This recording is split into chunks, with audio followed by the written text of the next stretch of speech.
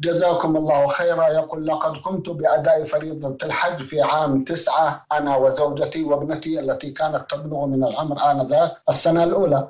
وقد ذهبنا مع بعض الإخوة من المدينة المنورة حيث إقامتنا هناك. وأثناء هذه الرحلة كانت توجد بعض السلوكيات من الإخوة في تلك الرحلة التي لا تليق في مثل هذه الظروف كالشجار وبعض الأمور غير المستحبة في مثل هذه الفريضة. وقد تعرضت أنا كذلك بمشادة كلامية مع عدل مع أحد الإخوة. وذلك في اليوم الثاني عشر من ذي الحجة حيث أننا كنا على موعد سفر في صباح اليوم التالي وأنا جدا نادم على هذا العمل حيث قال الله تبارك وتعالى ولا رفث ولا فسوق ولا جدال في الحج وجهوني حينئذ هل يجب علي من شيء جزاكم الله خيرا.